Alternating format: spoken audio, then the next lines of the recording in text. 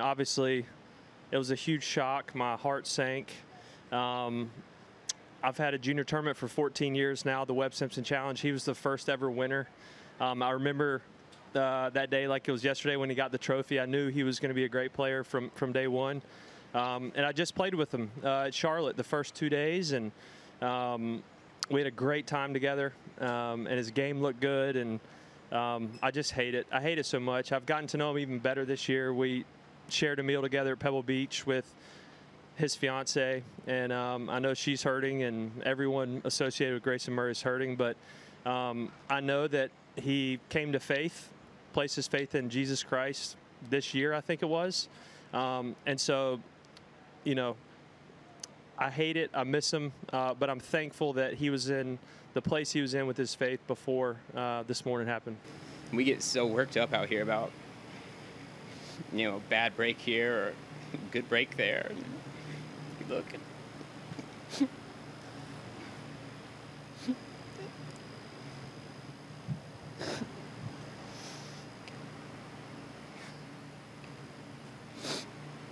you know, we're so competitive.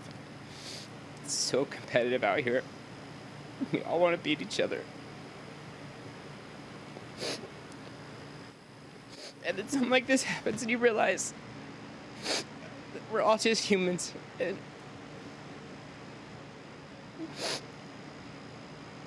it's just a really, it's just a really, really, it's a really hard day because you look at Grayson and you see in him like someone who is, you know, visibly outwardly struggled in the past, and he's been open about it. and then you see him kind of get his life back to a place where you know he's feeling good about things. It's just so sad. I mean, I, mean, I was with him yesterday, and he was playing great. Like his game is so good. He's so good at golf.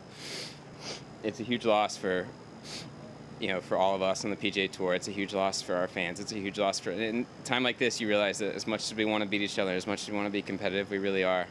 We're one big family, and and we lost one today, and that's that's terrible.